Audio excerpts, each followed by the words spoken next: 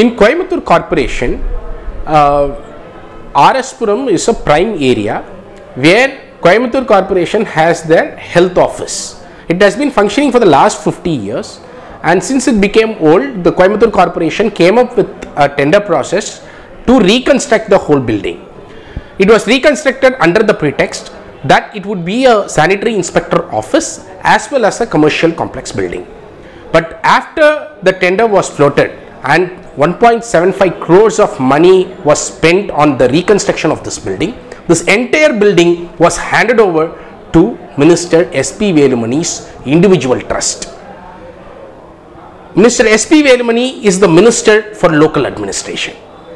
He is responsible for the entire Coimbatore Corporation.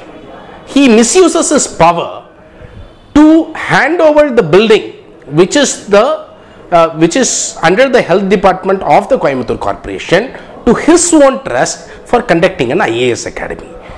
The inauguration of this IAS academy is attended by MLAs of Coimbatore, Minister SP Velumani and the then Coimbatore Commissioner Mr. Vijay Karthikeyan. So all this shows how all of them have been in the nexus.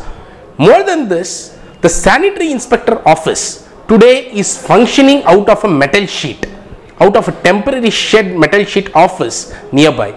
Sanitary inspector office is a very very important public office because this is where people get their birth certificates, people get their death, death certificates. So a lot of people interaction happens, people comes come to this office, but they are made to work, uh, toil hard uh, in the in the sun under this metal sheet. And on the other side a posh building is has been handed over to the minister's individual trust. This is a very very clear case of conflict of interest favoritism and corruption has defined under the prevention of corruption act 1988 wherein any public servant who misuses his power to hand over benefit for himself or for people around him for either pecuniary benefit or for other benefits is defined as corruption under the Prevention of Corruption Act. So therefore, we have appealed to the Directorate of Vigilance and Anti-Corruption to immediately file an FIR on the issue and call for all the records because today the Coimbatore Corporation is refusing to divulge